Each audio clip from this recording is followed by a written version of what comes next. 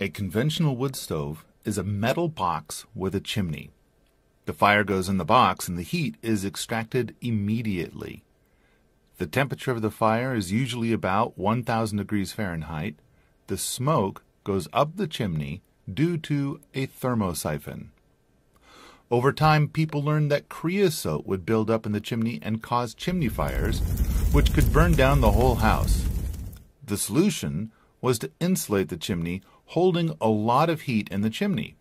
When you have a hot fire in the stove, it would often get hot enough in the chimney to burn out the creosote, thus keeping the house safe. The downside is that a lot of heat ends up going out the chimney.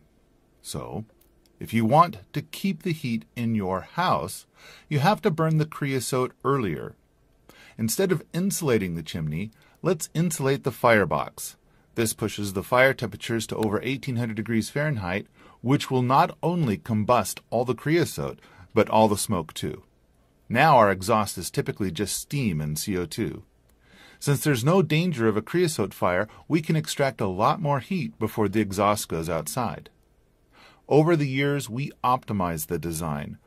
We found we didn't need nearly as much wood, so the burning area became much smaller.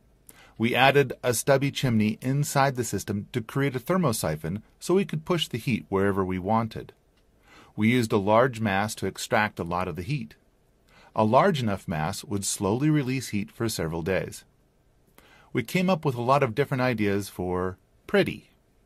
And today, most installations will heat a home with one tenth the wood, produce one hundredth of the smoke, and people wake up in the morning to a warm house.